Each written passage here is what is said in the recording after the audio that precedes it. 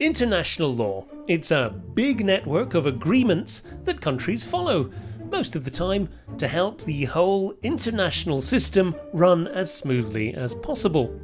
But, of course, there's a problem. Let's say one country has a law about human rights, and international law has a different one. If someone in that country commits a human rights crime, are they subject to their own country's laws or to international law? Well, according to the principle of sovereignty, each country has legal authority within its own territory. International law can't intervene. But some say it provides an ethical example, which states should follow. Some countries don't face this situation. Monist countries like the Netherlands believe that international and national law are a single system.